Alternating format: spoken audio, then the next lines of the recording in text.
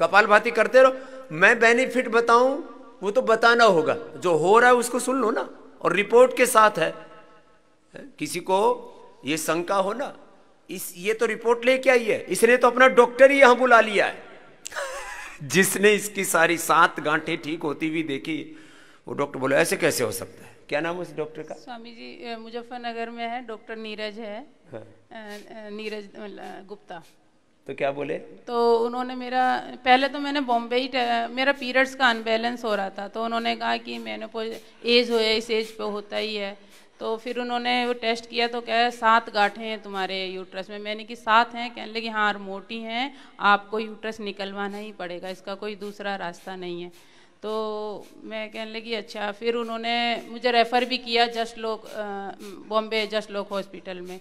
तो फिर मैं आ, मतलब एक महीने का मैंने क्या सोचा कि जब आस्था चैनल में देखी थी मैंने कपाल भाती करके देखती हूँ। मेरे मिस्टर डेली योगा करते हैं स्वामी जी। तो उन्होंने कहा तू कपाल भाती तो कर प्राणायाम। ये जब कैंसर तक गांठें मेल्ट हो जाती हैं तो क्या पता ये भी ठीक हो जाए। और मेरा इतना स्वामी जी पीरियड्स का अनुभव पूरा महीना मतलब ऐसा जाता है दस दिन में आ रहा है बीस दिन में आ रहा है। तो फिर मैं प्राणायाम सुबह शाम घड़ी के सामने बैठती थी एक घंटा कपाल भाती।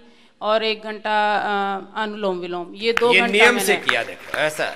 ये ये ज़रूरी है नियम से हाँ। व्रत पूर्व घड़ी के सामने बैठती थी और भजन लगा लेती थी और मैंने कि मुझे एक घंटे से ज़्यादा क्योंकि असाध्य रोगों में स्वामी जी ने मैंने सुना कि असाध्य रोगों में जो हो जाए तो ज़्यादा टाइम करना पड़ेगा कपालभाती। तो फिर मैं वही लगा के टाइम लगा के बैठी। फिर तीस तारीख, एक महीने बाद मैंने फिर सोनोग्राफी अपने हॉस्पिटल में कराया था बॉम्बे ही अपने बीआरसी में। तो कहने लगी, अभी तुम्हारी कोई गांठ नहीं है। मैंने कैसे कैसे? फिर हमने सोचा, अपने हॉस्पिटल की रिपोर्ट गलत भी आती है तो फिर मैंने बाहर भी कराया। तो बाहर भी ए, मेरी एक भी गांठ नहीं सारी गांठें मेल्ट हो दो दो जगह से रिपोर्ट कराई। फिर कोई भरोसा नहीं हो रहा था कि ये कितने दिन लगे? आ, एक महीना स्वामी जी। एक महीने का ये उन्नीस दिन की रिपोर्ट यहाँ एक महीने फिर उसके बाद मैं अपने घर आई मेरा घर यहाँ मुजफ्फरनगर है तो यही है वे डॉक्टर नीरज। वो अब आएँगी मार्च में। अभी कल मेरे परसों बात हुई थी तो कहने लगी मुझे टाइम नहीं मिला। लेडीज़ है? अच्छा लेडीज़ डॉक्टर नहीं क्योंकि हाँ। नीरज दो जगह होता हमारे यहाँ भी नीरज है। नहीं नहीं। नीरज तो उन्होंने बोला है कि मैं ज़रूर आऊँगी। उन्होंने फिर मैंने यहाँ टेस्ट कराया। तीन बार करवाया तीन बार कराया था स्वामी जी क्योंकि हमारे उधर दो बार मुझे संतोष नहीं हुआ था मोटी थी सात गांठे थी तो उन्होंने कितने, कितने भाई कितने कितने, कितने? आ, स्वामी जी अभी मुझे याद नहीं उन्होंने बहुत ऐसे ही बताया था कि तुम्हारी मोटी है वो रिपोर्ट है मेरे पास उसमें शायद लिखा होगा।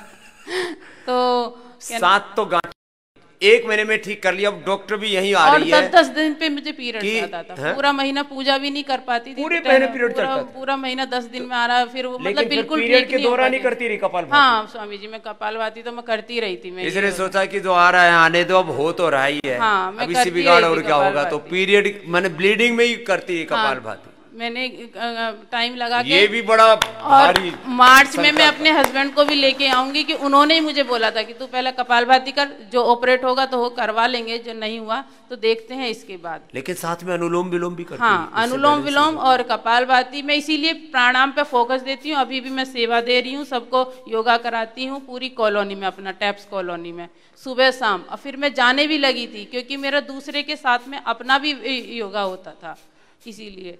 तो ये तो, दोनों काम करते थे।